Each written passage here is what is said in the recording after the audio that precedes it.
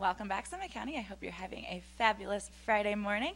I'm Lauren. I'm now joined by Kristen and Sydney. We're hanging out here at the Breckenridge Welcome Center. How are you ladies today? I'm great. How are you? I am wonderful. How are you doing? Doing well. Doing well, doing well. Um, they're going to tell us a little bit about some fun activities that are going on this weekend. So, um, Sydney, first, tell me what's going on. We are right in the middle of our event week here in Breckenridge. So, happening right now is the Breckenridge Film Festival as well as the Breckenridge Wine Classic.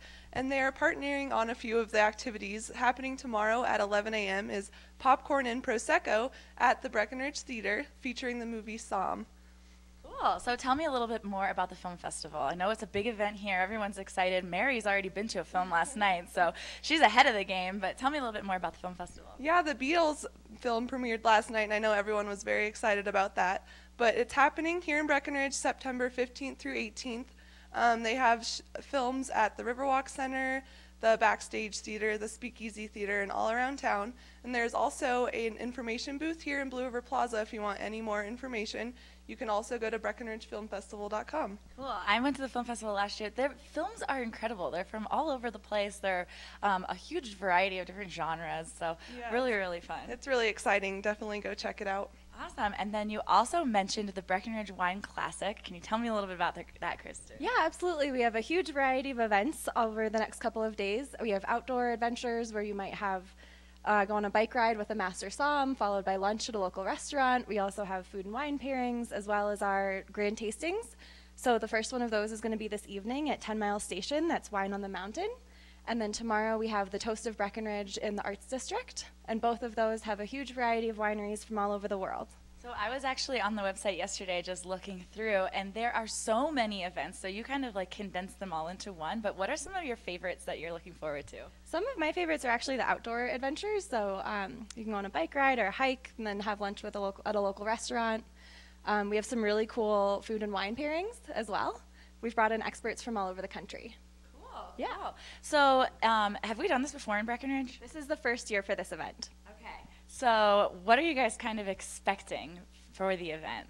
We are actually expecting to sell out for the grand tasting on Saturday, mm-hmm. I which is think- very exciting. Yeah, and when I was on the website yesterday, I think there was at least one one activity that I was looking at. I can't remember what it was because if you go to the website, there is literally like a list, a long list. You oh, keep scrolling and scrolling and scrolling, and you're like, oh my gosh, I could do any of these activities. It's a huge variety, but I saw that at least one of them that I was interested in was sold out. Yeah, definitely. We have about two dozen events over five days. Cool. So that- Everything from wine pairings to the outdoor adventures to the grand tastings. Great. So we have the film festival going on right now and the Breckenridge Wine Classic. Very exciting. So let's go back to the film festival. What films are you excited about mostly? I think the one that everyone was most excited about was the Beatles last night. Um, I know they have some great lineup coming the next couple of days here. Um, I think that the best place to go for this information is in Blue River Plaza. And then also, if you go to Blue River Plaza, Broken Compass is doing some samplings of their beers. So stop by to get information and check out all the films.